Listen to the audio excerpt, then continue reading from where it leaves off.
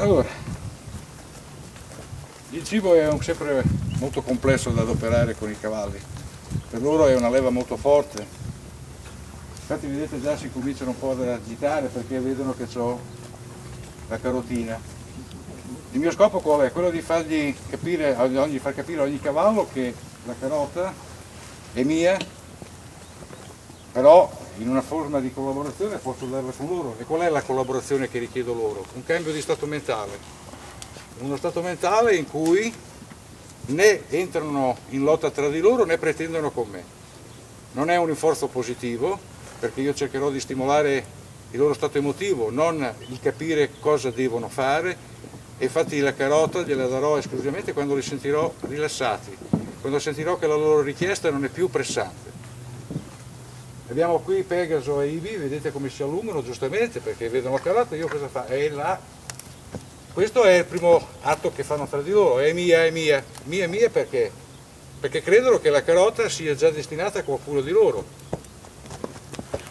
Io la carota l'avrei destinata a Ibi perché è la mia cavalla, però destinata nel senso che gliela do come cooperazione se lei mi fa sentire che non lo sta pretendendo, che è un qualcosa che dice ok, non la sto volendo in maniera fobica, la sto volendo semplicemente perché me la dai.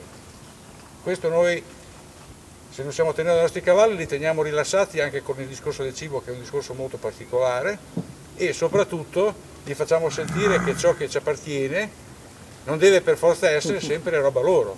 Quindi io posso anche girare con le carotine in tasca, posso avere qualcosa in mano, senza per forza scatenare è mio e mio Cosa faccio per fare questo? Mi avvicino al mio cavallo, gli faccio vedere la carotina perché non devo nascondere ciò che ho. Loro devono capire che ho qualcosa che gli può anche interessare, però questo non vuol dire interesse è mia, proprietà, no. Eh, lo so, eh, poi te la darò, sì, se ti calmi te la do. Ecco, vedete, adesso lei sta cercando di farmi capire che intuisce che io gli sto dando un messaggio diverso dal io chiamo e io do. Piano, amore, piano, no, no, no, piano, devi calmarti, io voglio che tu sia rilassata. Questo è un esercizio che abbiamo già fatto, infatti vedete anche Pegasus, ho già capito che non deve entrare in lotta con, con Ibi. Diversamente avrò già cominciato a prendersi l'uno con l'altro per prendere la carota. Ibi sta facendo di tutto per farmi capire che no, non sto chiedendo, però se me la dai, è vero. Adesso quando io la sento calma, e questa è qui, è qui, e non è qui, quello che vedo, adesso si è distratta, quindi ha cambiato stato d'animo, dico Ibi, la chiamo, Ibi, ecco, vedete sta già mangiando con più calma, chiamo Pego che si è avvicinato però tranquillamente e gli faccio capire che la carota che io ho, che avrei potuto destinare a Ivi, perché è il mio partner, potrei anche condividerlo con lui, ma ha una condizione, che non lo pretende, innanzitutto nei confronti di Ivi, perché prendere, chiedere a Ivi qualcosa significa chiederlo a me in realtà, e soprattutto non entrare in lotta tra di loro, perché non deve esistere questo discorso dove cibo porta a combattimenti, a lotta. Devono rimanere calmi, per cui calmi tra di loro, calmi con me, uguale, ok, collaboriamo, cooperiamo e ciò che prima era mio diventa tuo. Posso dartelo, posso offrirtelo. Pego ha già ha cambiato un po' di stato d'animo, vedete? Lo, lo chiamo. Pego? Bravo Pego. Ha cambiato stato d'animo, calato quella sua richiesta, è ancora un po' presente perché sono esercizi che stiamo facendo da poco, quindi non è che possiamo pretendere che un cavallo cambi dalla mattina alla sera, però cerchiamo di fare sì che il loro stato d'animo sia il loro punto focale, non l'atteggiamento, non io vabbè mi giro dall'altra parte, non è quello che io devo vedere. devo vedere la loro calma, la loro non richiesta emotiva. Adesso provo a tornare a quella dei Ibi. Vedete, prego, fermo amore. Devi chiedere. Ecco, bravo. Vedete come si è girato? Si è girato perché ha detto, perché devo entrare in lotta con Ivi? C'è qualcosa anche per me se io cambio dentro. Quello che c'è questo signore me lo può condividere anche con me se però io sono calmo. Prego. Amore, su, su, su, su, su, su, guardami. Guardami, amore, guardami. Guardami, bravo. Chiedo attenzione perché non voglio che lui capisca che quello che io voglio è la non attenzione e la distrazione di un'azione. Voglio che lui mi capisca nell'intimo, cioè capisca che io non voglio che io lo senta agitato, che li senta agitato. Guardate, sono dentro un recinto a quattro cavalli, normalmente prima di fare questo esercizio un paio di volte, in presenza del cibo diventavano l'uno l'antagonista dell'auto, è mio, è mio, è mio. Oggi sono già più tranquilli, l'abbiamo fatto due volte e basta. Quindi gli animali dimostrano, i cavalli dimostrano quanto in realtà sono in grado di capire, sono in grado di apprendere, sono in grado di intuirsi nelle nostre intenzionalità. Quello che io cerco di fare in modo che loro capiscano è che devono rimanere tranquilli tra di loro in presenza del cibo, quindi non competizione nel cibo e soprattutto che quando ci siamo noi esseri umani che cambiamo le loro dinamiche perché siamo presenti, offriamo e ci comportiamo e richiediamo, loro devono capire che devono mantenere inalterato il loro stato d'animo. Cioè non è che se io mi rivolgo a un mio cavallo o a un altro cavallo, se arriva un'auto lo manda via immediatamente, ha dei diritti e quindi si tira su di stato d'animo. Loro devono capire che questa carota, queste carote sono mie, non sono loro, c'è cioè una mia proprietà, è un mio stato d'avere in questo momento, ma che però sono disposto a offrire per una collaborazione. Qual è la collaborazione che sto cercando da loro? La collaborazione è che rimangano calmi, tranquilli, non diventino fobici, non dicono ah, il cibo è mio, dammelo, dammelo.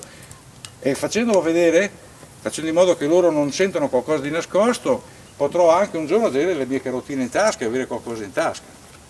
Dimmi Emanuela. Perché la staccionata in mezzo? La staccionata in mezzo era una cosa che avrei detto fra un po', questo esercizio lo faccio proprio per questo motivo separato perché sappiamo che i cavalli in presenza di cibo possono diventare abbastanza irruenti ma non tanto solo nei nostri confronti che bene o male con noi sono già abbastanza confidenti e quindi ci evitano e cercano il più possibile di avere delle attenzioni, ma tra di loro, come avete visto magari prima, creano questa tensione dove vogliono a tutti i costi il cibo che hai tu e quindi se tu ti trovi in mezzo rischi di avere un momento di pericolo, no? perché si possono urtare, possono fare qualcosa che ti può far cadere. Diversamente da questa staccionata cosa avrei dovuto avere? Avrei dovuto avere una capezzina, avrei dovuto avere la corda e nel momento in cui succede qualcosa, fare una fase, chiamiamola così, una, dargli una botta con lo stick, mandarlo via, avrei dovuto creargli una tensione, una paura tale da poterlo allontanare, cioè avrei dovuto vincere quel suo modo di fare dimostrando di essere più forte, dimostrando che ho caratterialità di potere. Però che, sto, che messaggio gli sto dando al mio cavallo? Gli sto dicendo quando tu stai chiedendomi qualcosa, io no, mi rigidisco, no, ti do una sensazione di potenza e di forza. Devi fare quello che voglio io come e quando voglio io. La stazionata mi permette invece di avere un dialogo con il mio cavallo dove non opero con nessun tipo di strumento, e do la possibilità a loro di capirmi con tranquillità e io ad essere in sicurezza.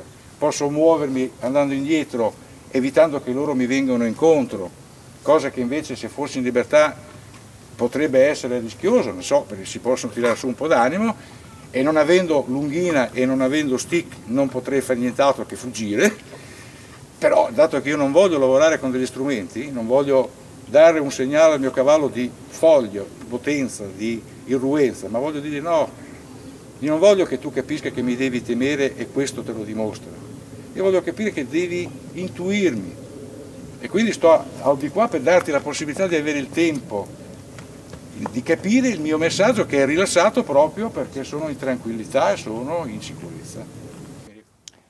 In questo caso il cibo era proprio il, il fulcro dell'esercizio, nel senso che utilizzavi il cibo per, eh, per comunicare, esatto. per insegnare, educare. Esatto, perché il cibo purtroppo, eh, anche se tanti lo criticano perché potrebbe apparire come rinforzo positivo, è una delle poche leve a cui il cavallo risponde, perché il cibo per loro è vita. Quindi io agisco inizialmente, adesso non più perché con loro questo esercizio l'ho già fatto un paio di volte, però inizialmente bisogna lavorare sull'impulso primario che è quello della voglia del cibo.